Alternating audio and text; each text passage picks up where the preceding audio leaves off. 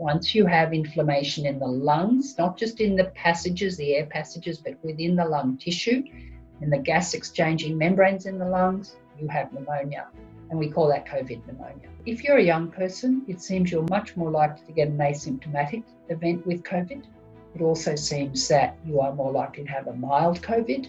And it also seems that if you get COVID, you are less likely to get COVID pneumonia. And if you do, much, much less likely to require ventilation and much less likely to die. So you know, we still don't fully understand what the age related benefits are of being 20 as opposed to 70. Now, you might think, oh, that's patently obvious, but let me remind you that in the Spanish flu, it was young people who died. This virus is not like other respiratory viruses, and we can't make assumptions about it because a lot of the patterns of even influenza, when it was severe in the 1918 19 pandemic, the, the patterns of disease, the populations that were affected then, are different to the populations who are affected now. Some people don't realise they have pneumonia. Some young people stay at home, they get a test, it's positive, they self isolate, and they don't necessarily ever kind of present at the hospital because they don't think they're sick enough. In that instance, they may have had pneumonia and not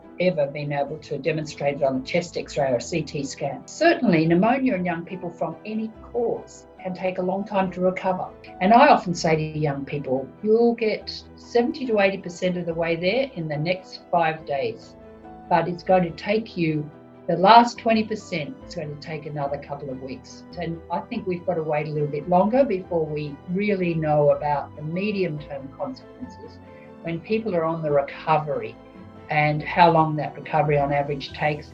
We know how long on average it takes for the virus to clear, but that doesn't mean recovery. That just means that the virus is no longer detectable in your uh, upper airway secretions. So lung damage is, is not it's not an overnight recovery, and and uh, normally, uh, as I said, pneumonia is a several weeks of recovery, and for COVID it may well be longer for people who've required uh, significant oxygen supplementation. Now, those people we just really don't know at the present time, but we truly would expect, given the severity of this illness, that in those people there will not be a rapid recovery.